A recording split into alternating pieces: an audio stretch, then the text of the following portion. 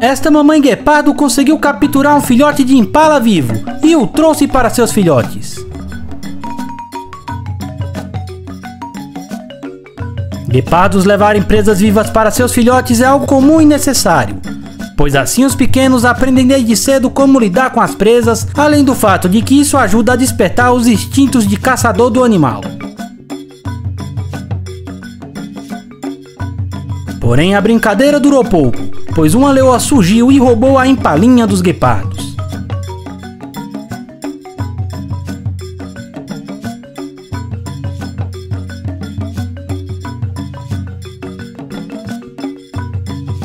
Fácil como roubar impala da boca de criança. Vai me matar.